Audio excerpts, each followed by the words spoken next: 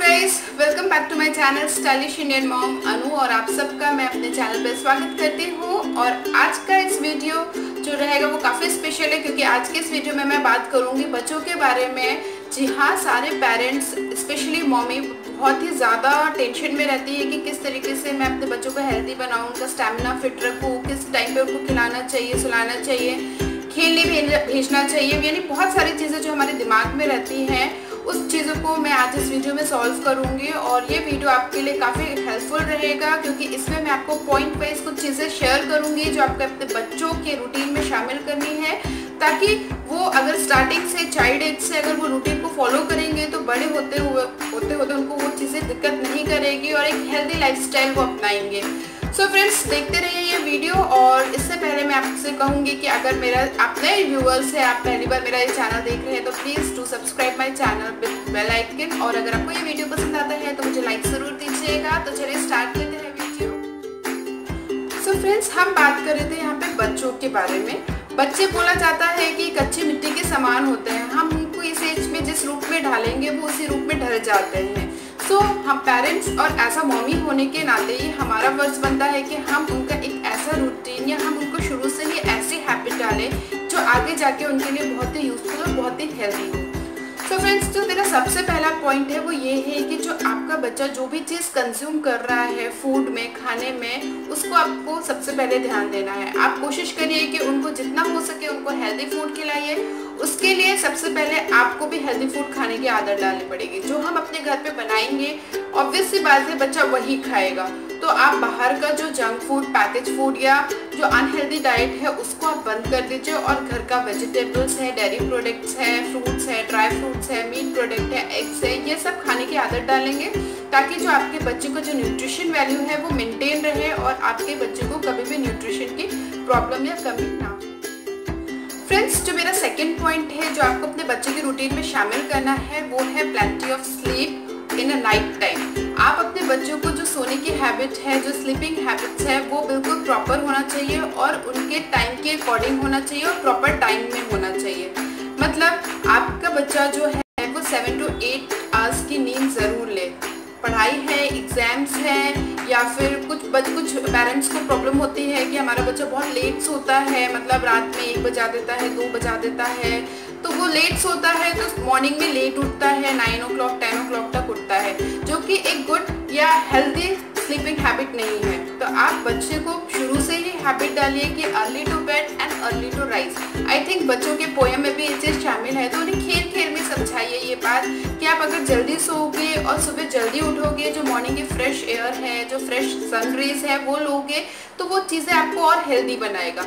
तो अगर आप उनको बचपन से ही जो सोने की हैबिट है वो प्रॉपर डालिए प्रॉपर टाइम में सोए और जो ड्यूरेशन है उनके सोने का वो भी बिल्कुल प्रॉपर होना चाहिए, ताकि उनका जो ब्रेन है वो प्रॉपरली एक्टिव रहे और काम कर सके। सो फ्रेंड्स मैं जो अपना नेक्स्ट पॉइंट है, उसमें मैं बात करूँगी उनके स्किन केयर के बारे में। उनकी स्किन की केयर करना बहुत ज़रूरी है। अगर हम चाइल्डहुड से उनके स्किन के पे ध्यान देंगे, उनकी केयर करेंगे तो बड़े होकर उनकी स्किन बहुत ही अच्छी हो जाएगी और उन्हें कोई भी स्किन प्रॉब्लम्स का सामना नहीं करना पड़ेगा। आजकल के पेरेंट्स और मम्मी काफ़ी ज़्यादा अवेयर है, उनको अवेयरनेस है कि उनके फेस पे हमें क्या लगाना चाहिए, क्या नहीं लगाना चाहिए। इसके बाद भी अगर आप नहीं समझ पाते हैं तो आप उनके पीडिट्रिशियन से या फिर डर्मेटो डर्मेटोलॉजिस्ट से कंसल्ट करके उनके फेस के लिए जो भी सोप या फेस वॉश आप यूज़ कर रहे हैं, वो ले सकते हैं। और जो सेकेंड पार्ट है, वो है नेचुरल इंग्रेडिएंट्स आपके घर पे ही बहुत सारी चीज़ें अवेलेबल होती हैं जो आप अपने बच्चों के फेस पे अप्लाई कर सकते हैं। लाइक आप बेसन का उपटन अप्लाई कर सकते हैं। और दूसरा सजेशन मैं ये दूँगी कि वीकली उनके स्किन और उनके बॉडी और उनके जो पूरा स्किन रहता है, उस पर आप ऑयल मसाज दीजिए ताकि उनके स्किन नेचुरल बेस से ब्लड सर्कुलेशन और ग्लो करे। सो so, ये था मेरा थर्ड पॉइंट जिसमें आप उनके स्किन की केयर कर सकते हैं। बस इतना सोच लीजिए कि आपको उनके फेस पे या उनके स्किन पे किसी भी तरीके का केमिकल यूज़ नहीं करना है और जो अडल्ट क्रीम होती है जो हम बड़े लगाते हैं वो बिल्कुल भी अप्लाई नहीं करना सो फ्रेंड्स जो मैं नेक्स्ट बात करूँगी वो है उनके बालों के बारे में। उनके हेयर्स पे काफ़ी इंपॉर्टेंट है। अगर हम अभी से ध्यान रहेंगे तो आगे जाके उनके बाल काफ़ी हेल्दी और काफ़ी अच्छे रहेंगे अच्छी क्वालिटी के रहेंगे। बाल भी काफ़ी डिफरेंट टेक्सचर के होते हैं, जैसे किसी के स्कर्ली होते हैं किसी के स्ट्रेट होते हैं, किसी के थिन होते हैं किसी के थिक होते हैं। लेकिन हमें इन टेक्सचर के बारे में बिल्कुल ध्यान नहीं देना है। हमें सिर्फ़ दो प्रोसेस है जिन पर ध्यान देना है, पहला है ऑयलिंग और दूसरा है वॉशिंग हम किस ऑयल को यूज़ कर रहे हैं, उनके ऑयलिंग करने के लिए, उस पर ध्यान देना है। आपको बहुत ज़्यादा कोई भी मतलब ब्रांड का ऑयल यूज़ नहीं करना है। दो ऑयल है, एक है ऑलिव ऑयल जो फिगैरो का आता है, दूसरा है कोकोनट ऑयल जो पैराशूट का आता है। दोनों ऑयल बहुत ही अच्छे होते हैं। आप उससे थोड़ा सा गुनगुना करके अपने बच्चों के बालों पे मसाज करिए। और आप जब शैम्पू यूज़ करिए तो प्लीज़ बहुत केमिकल वाला शैम्पू यूज़ ना करिए। माइल्ड रेंज के जो भी शैम्पू आते हैं, आप उन्हें यूज़ कर सकते हैं। मैं प्रेफर करूँगी कि आप हर्बल शैम्पू को यूज़ करिए और दूसरी चीज़, अगर आपके बच्चों के बालों की स्किन बहुत सेंसिटिव है तो उन्हें जो सूट करता है, वो यूज़ कर सकते हैं। दूसरी चीज़, अगर आप बचपन से ही उनको थोड़ा नेचुरल वे में सिखाएँगे कि हम नेचुरल तरीके से क्लीनिंग कर सकते हैं, जैसे कि आपको, मैं आपको बता दूँ कि आप घर पे ही अपने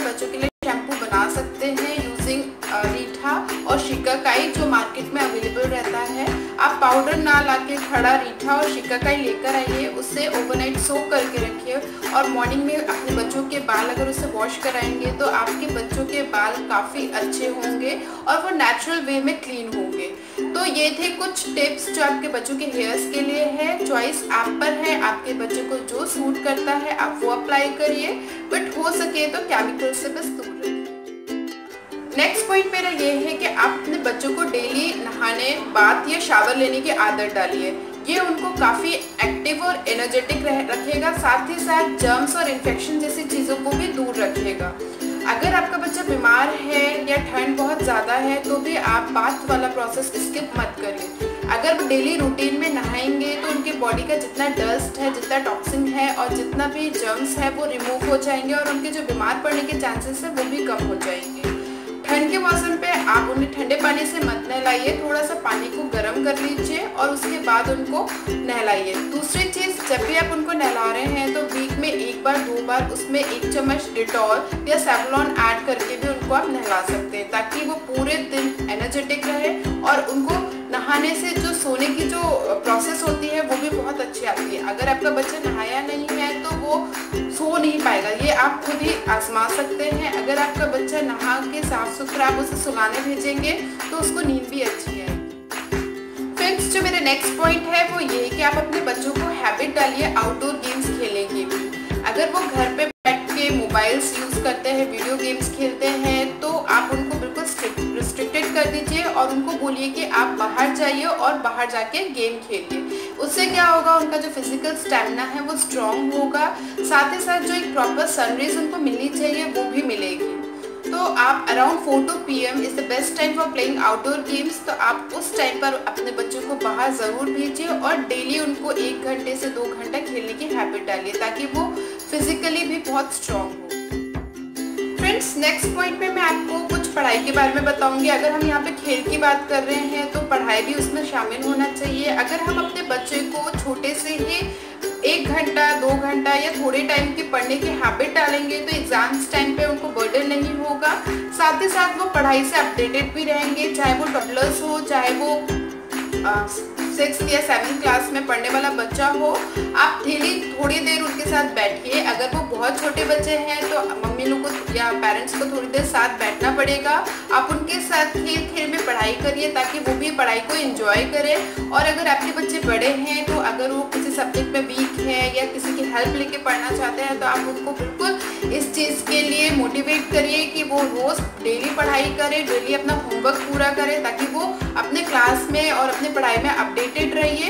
बट मैं पेरेंट्स से ये भी रिक्वेस्ट करूँगी साथ ही साथ कि उन्हें ओवर बर्डन ना करें पढ़ाई के साथ, कि आप ये क्लासेस के साथ साथ पढ़ाई भी करिए एक्टिविटी क्लासेस भी करिए। आप अपने बच्चों का शेड्यूल इस तरीके से करिए कि उनको ओवरबर्डन भी ना हो और वो पढ़ाई को इंजॉय भी कर सके।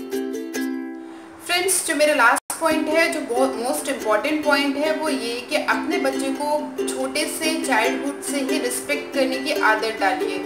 चाहे वो उनके पेरेंट्स हो ग्रैंड पेरेंट्स हो नेबर्स हो फ्रेंड्स हो वुमेन हो, बच्चा हो, उनसे छोटा ही क्यों ना हो? लेकिन रिस्पेक्ट करना अगर वो बचपन से सीखेंगे तो वो बड़े तक उनको वो चीज़ हैबिट में रहेगी। लेकिन अगर वो छोटे से ही कुछ गलत वर्ड का प्रयोग कर रहे हैं यूज़ कर रहे हैं तो आप उनको बिल्कुल नहीं रोकेंगे तो वो आगे जाके वो उनके हैबिट में आ जाएगी। तो चाइल्डहुड से ही उनको एक अच्छी आदत डालिए, एक अच्छा बोलने की रिस्पेक्ट करने की, अच्छे से बिहेव करने की, ये सब आदत अगर हम बचपन से डालते हैं तो बड़े होकर वो आदत बहुत ही ज़्यादा इन्हांस होती है और एक अच्छा रूप देती है और सामने वाला व्यक्ति को एक अच्छा बनाती है। सो so फ्रेंड्स ये थे मेरे आज के कुछ पॉइंट्स जो आपके बच्चों से रिलेटेड है। आई होप पेरेंट्स और मम्मीज को बिल्कुल हेल्प करेगा।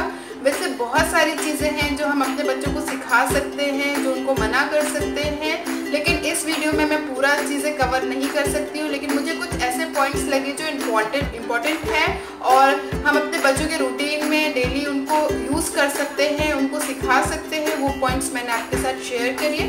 आई होप आपको ये पॉइंट्स और ये वीडियो पसंद आया होगा। अगर पसंद आया है तो एक छोटा सा लाइक ज़रूर दीजिएगा। और प्लीज़ अगर आप मेरे न्यू व्यूअर हैं तो प्लीज़ मेरे चैनल को सब्सक्राइब करिए ताकि मेरे जो लेटेस्ट वीडियो है, वो आप तक सही टाइम पे पहुँच जाए। तो मिलती हूँ फ्रेंड्स मैं आपको नेक्स्ट कोई एक्साइटिंग वीडियो में, तब तक के लिए good bye love you all